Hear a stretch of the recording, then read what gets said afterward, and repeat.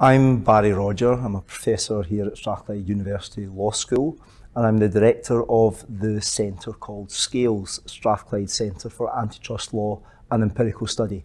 And I'm here today with my colleague, Dr. Oles Andriychuk, and also Peter Freeman. Um, and Peter is going to give us a, a, a brief talk uh, and an outline of a talk that he's going to give at an event we're hosting here at the centre at Strathclyde University. So I'm delighted to introduce uh, Peter. Peter uh, has a long history in competition law, and this is part of a series of talks that Oles has organised by eminent competition law academics, policymakers and practitioners. Peter has spent a long time as a competition law practitioner, nearly 30 years I think as a partner with Simmons and Simmons working in uh, European and competition law. He was for a number of years the chairman of the uh, Competition Commission and he has also until fairly recently over a long period of time been a deputy chairman of the Competition Appeal Tribunal and uh, we're absolutely delighted that he can come here today and share some of his experiences with us. And he's going to talk to us uh, tonight about the judicial role in competition law. And I think right now Peter's going to give us a few minutes uh, of a flavour of what he's going to talk in greater length about tonight. Well, good evening, everybody. As, as Barry says, I've been around a long time. Uh, and I've seen the competition world from various perspectives, most recently from the judicial perspective. And I was never really in any doubt about it, but I'm, I'm more convinced than ever that, it's, the, it's the judicial control aspect that holds the enforcement of competition system together.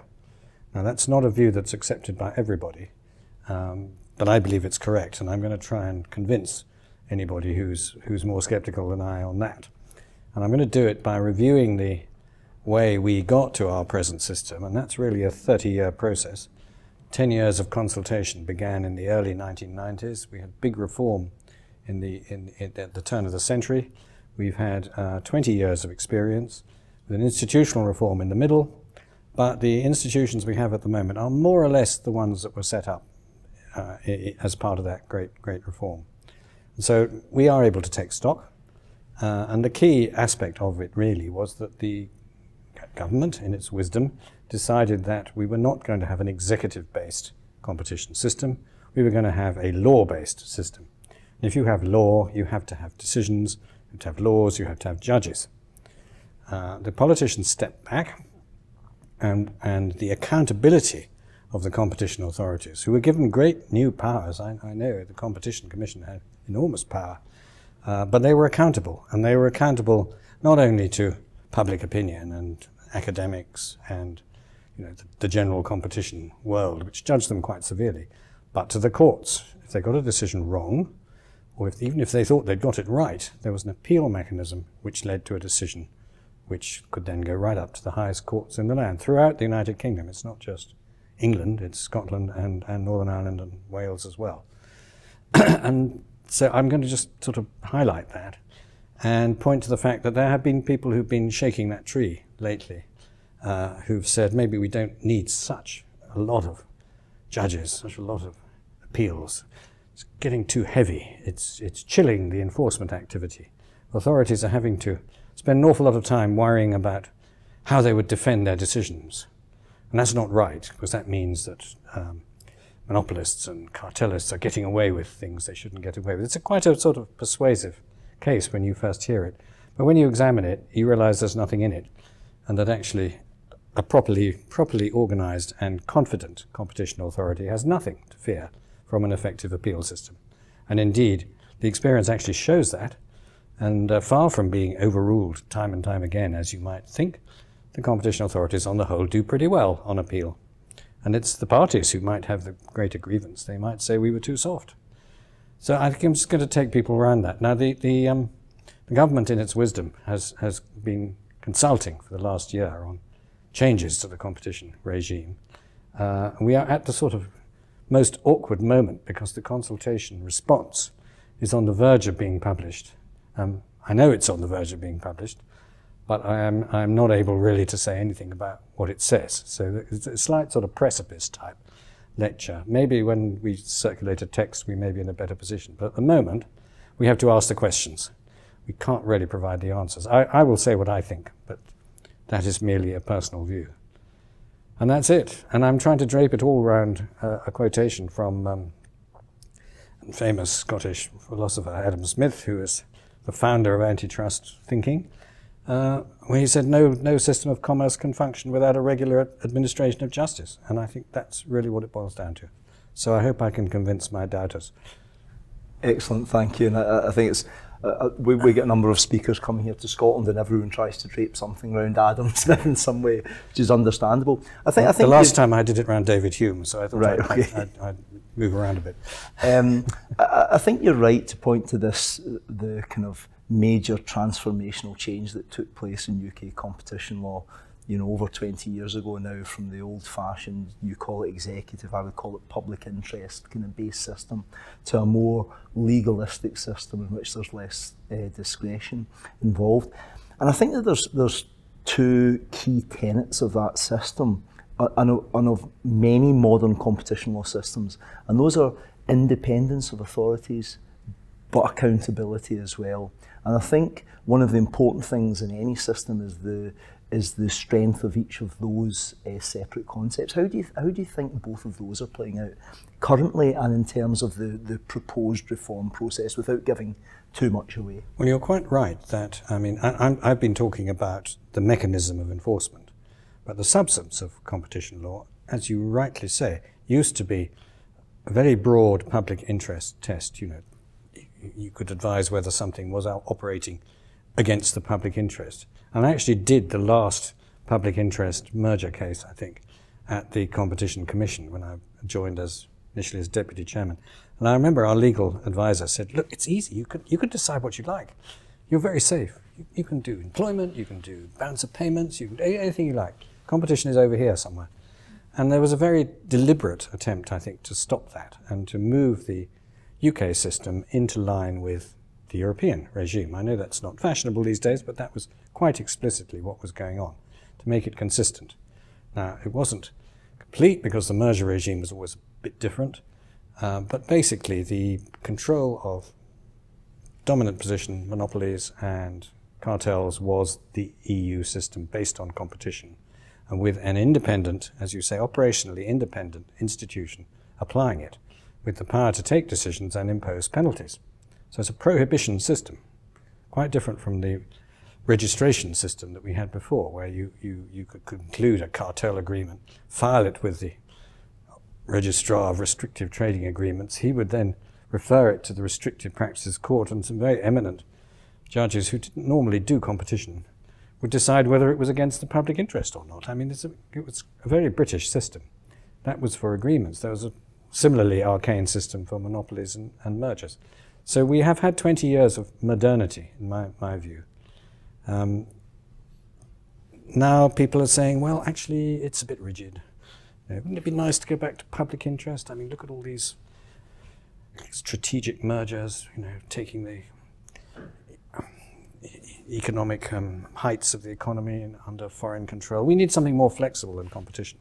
Those, these are siren voices, they are there. Do you, so do, do you see a, a, a form of repoliticisation of competition law to some extent? And do you think that that perhaps threatens the kind of the more legalistic system in which there's more legal accountability before the courts of well, the well, competition authorities or, or, whoever is the decision maker? I think we need to be precise that there is a new regime coming in for control of strategic and security investments. That's quite a complicated statute, yeah. which clearly is in the hands of the minister. Yeah. On the other hand, national security was always kept back in ministerial hands anyway, so it's not perhaps such a radical change as you might think. Um, I think, how can I be, be careful? I'm, I'm, giving an entirely personal opinion here. I, I think some ministers have seen that competition is a powerful tool and would quite like to have more to do with it. But I think their problem is uh, in the time, the two decades they have been away from the action, the subject has become much more technical, much more scientific, and you can't really be an amateur competition enforcer. You've got to know the economics, and you can't just say, I think that's a bad decision, or I think that's, that's wrong. You've got to be properly advised. And the, the civil servants who do this work are excellent people. There are not very many of them. They're not specialized. They've more or less outsourced competition analysis to the arm's length bodies. So they're a bit stuck. So I think there'll be a lot of talk, but I, am not sure there'll be any real change. So uh, let me let me then ask you, Peter, uh, probably as a counter argument to to your main normative uh, proposition uh, of this talk, we can we can mention the perform the, the, the, the, reference to performance of uh, competition enforcers, uh, in particular uh, competition and market authority quite recently in, in the kind of in, in the hearings uh, in the communications and digital committee in the House of Lords Andrea Coscelli uh, mentioned among other things that uh, full merit uh, judicial uh, full merits review slows down or discourages or is among the factors which discourages um, very engaged and very uh, risk uh, taking approach or attitude to uh, the, the, the, the, new challenges, the, the, to the areas, to, to, to, to, investigation of the areas which are uh, at the, you know, at, at, at, on the top of regulatory agenda. And obviously a concurrent issue is timing. We hear kind of uh, anecdotal but still real life examples that uh, the length of the procedure, if you, if you talk about full merits, is excessively and unprecedentedly long, um, particularly in this kind of rapidly changing environment when we talk about the area, the, the, the areas related to digital economy and, and others as well. So, what would you uh, reply to this quite an, quite objective, you know, counter argument? I, I, did say there were skeptics, and, and, and, I think it's, it's always necessary to, to see other points of view.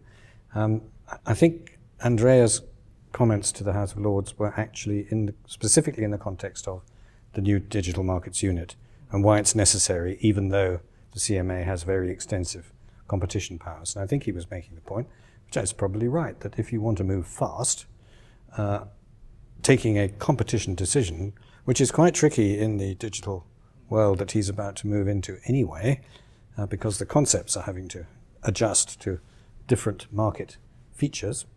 So if you're going to break new ground like that, yes, the te big tech companies are very well resourced. They will use whatever appeal mechanism, legal objection avenue is open to them. And I think he's right that, there's a big struggle there. And of course, the solution that they are going for is a new regulatory framework under which, by some magic process, the companies will agree to be regulated. Regulation will be imposed on them, and they will then be regulated so that uh, the appeal system is necessarily different. I think the answer to the question, surely speed is more important than anything else, is, is no, it's not. I mean, you've got to have a compromise between fairness, uh, thoroughness, soundness of analysis, and speed of decision making. If you put everything into speed, you will take fast, wrong decisions.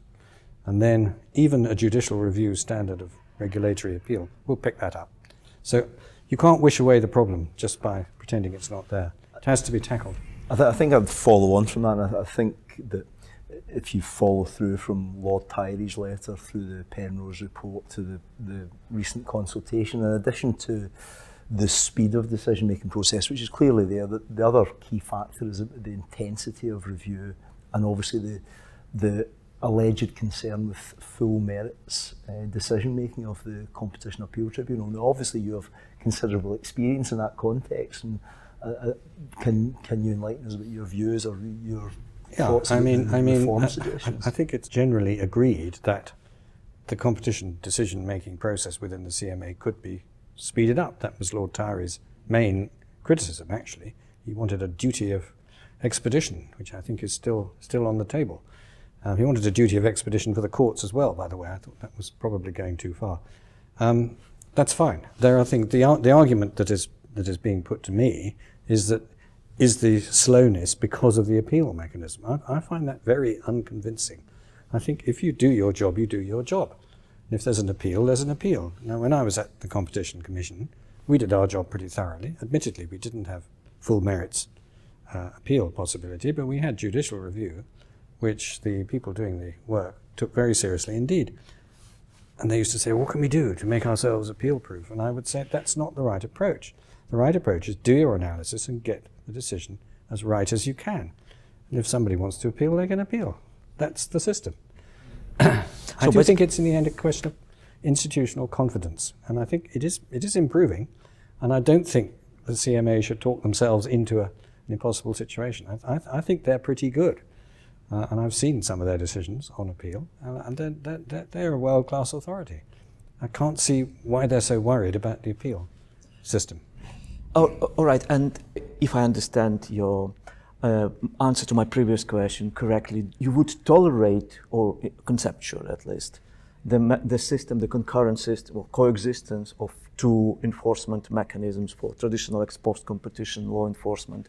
We would have the model embedded in, into the narrative which you have just uh, highlighted to us at the beginning of this conversation, and with a new, uh, you know, digital markets, new pro-competition regime for digital markets, whatever the enforcement mechanism will be introduced, taking into consideration all the um, criticism articulated by those who disagree with, uh, with the approach you have highlighted.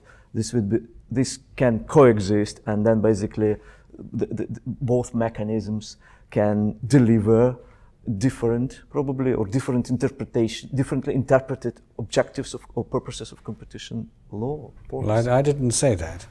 You're putting words in my mouth there. I, I, I, I think the, the, the, government has decided that this a, a regulatory system, which is modelled on communications regulation, to be to be frank, and indeed it bears quite some similarity to it, is the way forward. They're not alone in that. Other jurisdictions around the world have tended to a similar approach, different in detail but similar. But I think it, it's, it's because antitrust, competition law, finds the challenges of the, the, the big tech world quite difficult. I mean, take a simple example. A lot of the services are free to the consumer. So you, you can't accuse them of charging too much, at least not to the user. Now that, that is a, that's quite a challenging co co concept. Market definition is incredibly difficult, actually, in, in, in digital cases. I mean, from my limited experience, I, I can testify to that. So the, the worry is that a sort of textbook competition analysis, market power, abuse of dominance, doesn't work. It just delivers the wrong answer. And so until the thinking has been done to bring that up to date, regulation is an obvious sort of easy way forward. But I think what I'm going to say in my lecture is that don't think it's easy. It's easy to write. Anybody can write a regulatory system. Uh, it's going to be incredibly difficult to apply and to apply effectively. And just by dealing with, you know, just by avoiding the antitrust conceptual difficulties and actually writing out what you want to control, which is basically what, what, it, what is proposed, uh, you're still going to have to enforce it. You're going to have to resist uh, you know, objections to it. You're going to have to persuade these very powerful companies somehow or other to live with it.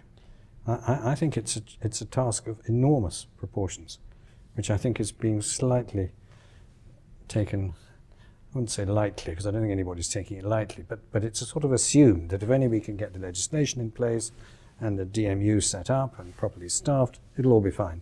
I don't think it'll be fine at all. I think it's 10 years hard battle ahead.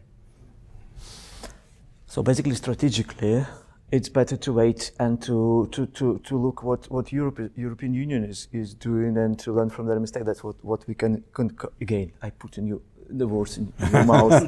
But uh, do you think that, that this evident slowing down with the, the adoption of, of the legislation, uh, digital markets unit, is uh, reasonable or deliberate or maybe prudent in this circumstance? I don't think they have very much alternative because um, the UK has chosen to leave the European Union. It can't shelter under the European Union plans.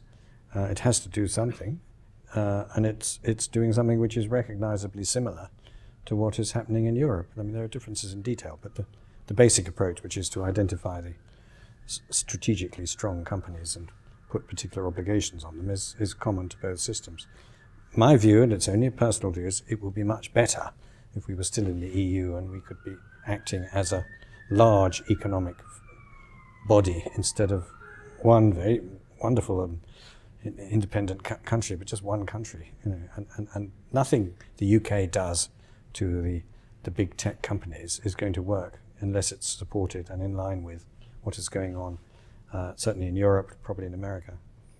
Uh, I, I think we're kidding ourselves if we think we can deal with this problem on our own. I'm just going to take a, a slight step back because um, I think what's quite clear from the theme of your paper, and I, and I very much like it because it links in with a lot of my research, is the focus on on enforcement of uh, competition law and substance is important as well. One of the reasons we set up the, the centre, the Strathclyde Centre for Antitrust Law and Empirical Study is, as well as to further normative study of competition law, to bring together academics that can work in empirical research. And, and I, I think that there's the, this is what's lacking in a lot of the debate about UK competition law and enforcement from Lord Tyrie's letter right through to the, the consultation. So on both aspects that you've touched on, so for instance, enforcement by the uh, Competition and Markets Authority, and I undertook some research in relation to their enforcement activity, going all the way back to the OFT and the start of the new regime um, when the 1998 Act was introduced. And although there is clear evidence of, of faster decision making, more decisions in recent years. There was a there was a dearth of decisions a few years ago. Um, I think the CMA has been more active. I think on a comparative basis, you'll see that in fact the CMA has, you could say, under enforced competition law. And I'm not sure why that is, if it's because of the procedures or the fear of appeal, um, that mantra. But the other thing I wanted to say was that your your paper really chimes with some ongoing research that I'm involved in with a number of European researchers, particularly Dr. Or Brook, but with a whole coordinating team uh, of people uh, across Europe and rapporteurs in every member state. And what we are doing is um, looking at judicial review of competition authority decisions across each member state we have decided to ensure that it's very focused and, and so we're only looking at infringement, uh, sorry, prohibition decisions rather than all forms of decision making and, and review. But I think what, what, what we can already see, although we're at a very early stage in the, the project, the number of appeals at the UK level is considerably lower than virtually every other member state the, the, there are obviously parameters to the, the project and, and the, the CAT undertakes a range of other functions, you know, as well as its appeals in relation to the prohibitions.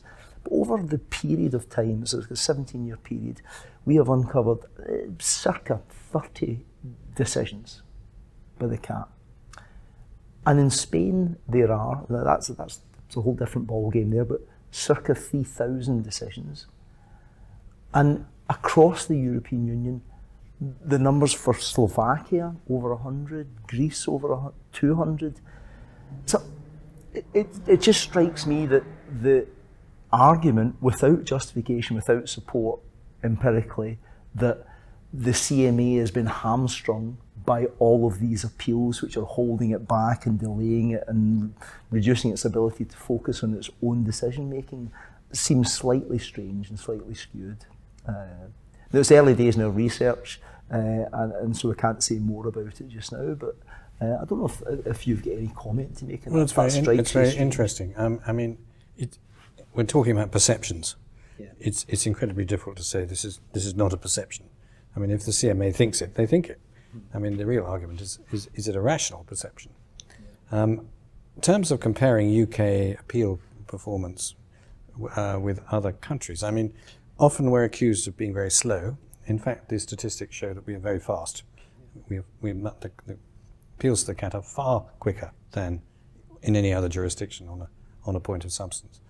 Um, as to the numbers, I'd like to think that the early work of the CAT, uh, after its formation, clarified you know, an awful lot of issues. So there's, there's less to appeal about. And also, it's the way it's dealt with appeals that have come along has discouraged people from bringing, and say frivolous, but just sort of appealing for the sake of appealing. So if there's an appeal, there's a genuine issue, and it gets dealt with. And I, the, the, full merits versus JR UK debate is awfully parochial, and I'm, I'm a little bit ashamed at having given it such such oxygen. I mean, judicial review is a generic term in European law, which means judges reviewing in law and in fact. And of course, there are going to be differences in different jurisdictions according to different traditions and different habits. But basically, it's, it's a full review is what is needed. So whatever standard uh, gets legislated, uh, some way will be found to review law and facts, because you have to do that.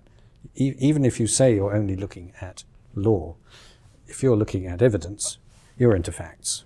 And that's, if you can, you can see that even in the most strict UK JR decisions.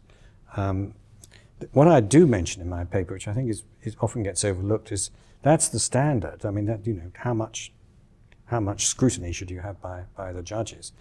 But how do you, how do you consider the evidence? That's very important because in standard UK JR, and I think in the General Court, for example, there are no witnesses. And there's no witness evidence. Now, one of the things that struck me, my first exposure in the CAT, was the power of examination, cross-examination, and oral evidence, particularly um, expert evidence, so-called expert evidence, but on economics. So competition has become you know, a, a, a sub-branch of economics in many cases, not always, but in many, many cases. You have to get to the bottom of that if you're going to decide whether a particular decision, particularly on a, on a market power abuse dominance side, uh, is justified or not. You have to consider the evidence. You can read the expert opinions, that's great, they often disagree. You have to try and make sense of them. I mean, there are lots of ways of doing it. The way we do it is to put them in the witness box and get them questioned. And it's amazing how you can get clarity from doing that. I, I remember personally that experience when the CAT came to Edinburgh twice on both occasions uh, for the Aberdeen Journals case. Aberdeen and Journals was a seminal case. A seminal right. case and enlightening about uh, some of the cross-examination of some of the witnesses. Yeah. Which, uh, and since then we've we've done you know contemporaneous examination, hot tubbing, and hot tubbing with an with an expert economist on the judicial panel is a very powerful weapon. Weapon tool. It's not a weapon. It is a way in which you elucidate the amount of agreement and what the difference is. And then you can, then you can judge. You can't judge it when it's just a mass of very distinguished expert opinions in writing. Uh, let me pick up on this, on maybe on terminological issue or uh, the, kind of, uh, the nominal issues of, of, of the expert opinion in, in, in economics do we consider that these views being objectively justifiable and kind of uh, demonstrate or presented as uh, clear-cut, unambivalent, and um, non-ambiguous facts, you know, scientifically proven facts, or we acknowledge during this process of judicial review sensu lato that they are being interpreted or presented and by the economists depending on the uh, consult consultancy which they deliver to, to the parties. So do, do, do we acknowledge the coexistence of several concurrent interpretations of some of something which in the previous period uh, has been considered as kind of single, uh, kind of one-dimensional and uh, accurately definable? Well, I think lawyers always want to try and pin things down into certainties. Uh, and, and I think they find when they're confronted by arguments about economic principle and evidence and analysis, uh, they get very worried because that's not a precedent that they can actually grab hold of. It's not a fact that they can pin down. It's, it's somebody telling them something as, as a professional expert. So what does, how, how do we deal with that? Well, expert evidence is sort of given quotation marks and is treated in a very, very particular way. The, if you are, and it's mainly economics, but it can be accountancy and other aspects as well. So even medicine, in one of the cases, I had an expert medical um, witness. Um, they then have to accept that they are owing a duty to the court. They have to sign quite a detailed undertaking to that effect. But they they are not beholden to their client. It doesn't matter who pays them. They are under a duty to give objective evidence to the court. And if they breach that by, for example, arguing the case, which some do, they get very heavily criticized, not only in the courtroom, but in the judgment, in a way that actually is quite damaging to their future careers. And I think we take that extremely seriously. And I mean, I haven't got the cases at my fingertips, but I could point you to a couple of very pungent sentences in judgments which really say this expert was not objective. And, and, and we, we, we can see that very clearly. So that's, that, you may say that's just the lawyers trying to you know, put procedures in to make that work. Um, and I think there's some truth in that because you still have the dilemma that you can't take instinct out, out of people. Um, but you put two together, you get one argument to oppose another argument. That's quite a good way of trying to work out whether there's any substance in, in, on either side. Get an expert to, to, to criticize an expert. That, that's the hot tub process. And the other thing is that the barristers, who are the advocates, they're pretty skilled too at, at finding weaknesses in, a, in, in, a, in an argument. So, yeah, of course, we are, we are aware that this is not objective evidence, it's not fact. And it's interesting and very necessary analysis. And a competition system that just depended on legal rules uh, would be a very weak one, I think. And it would be prone to error. And that, that's where we started, of course, with a competition system based on rules. And we've matured. Now we have to handle the consequences of maturity. And if I can ask you, Peter, maybe uh, the question from uh, the, on the issue which, with which you have started about this politicization. If you, if you look at, at the development or the evolution of competition law, economics, and policy, it appears to be kind of the pendulum is moving back towards more kind of polycentric, to use Janis Lianos terminology, uh, approach or modality where different factors such as, for example, even uh, sustainable development, but also industrial policy, some others as well, have greater repercussions and implications on our, you know, narrow, narrowly defined competition law uh, community or cluster. Uh, do you do you observe this trend, and do, do you think that the, the competition appeal tribunal inter alia is being you know prepare is preparing for it, or it's something which is kind of background noise which you can not not not ignore, but somehow take uh, with moderate criticism, skepticism, or maybe you know relativize the importance of these issues? Well, there are several questions milling around in that. Um, I mean, the way I look at it is that uh, competition went through a period where everybody thought it was the answer to every problem. Uh, I never actually subscribed to that view, but it was certainly the view of some people. Uh, and that was a reaction, I think, to having moved from a public interest system to competition-based system. And there were people in government. The, I think the high point of it was the 2001 white paper, which basically said competition will solve all economic problems. It will increase productivity, efficiency. Consumers will benefit. Wonderful, right? Well, you only have to look around to see that that hasn't worked. Um, I think apart from climate change, which is which is you know an enormous issue for policymakers, you have you have uh, lots of other things. I mean, a pandemic has shown that a free market does not mean that we have enough vaccines and protective equipment when we need them. So you have to have state intervention uh, pure competition has not, has, not, has not helped us there. I see competition as a default underlying other policies. And you have to have proper focus on other policies. And it's important that competition policy doesn't get in the way of them. So if, for example, it is restriction on, on cooperation is stopping essential sustainability developments, then there has to be change. Because otherwise competition is no longer doing its, doing its job. Whether competition itself can cure climate change? No, of course it can't. But it's important that it doesn't impede the, the other, other measures that are needed.